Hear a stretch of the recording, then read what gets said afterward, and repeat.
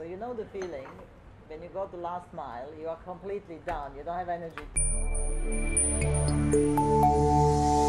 How do, how, do you manage, how, how do you manage this? I mean, the working stress, stress from travel, because you're spending like 80% of your time, Yeah. maybe 90% in the travel. I, I think it's about you, you practice a lot of sport.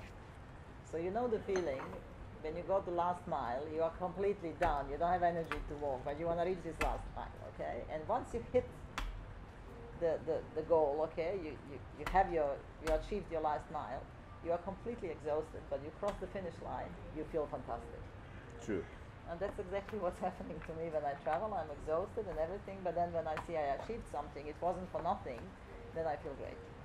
No, and I think cool. that's the that's the secret for my because a lot of people ask me like, yeah, you, you know, how do you manage it? You have family, you have friends, you're everywhere, Right. you travel, you work, you you know, and I think that's the key because I love sport and I love sport achievements and I was a sports lady myself.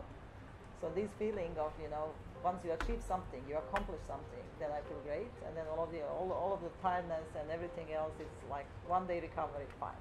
I think we have a great company to start with, starting from Eugene through everybody else. I really think this is a great company, and that helps me to motivate myself and deal with others because I transmit what I feel easily.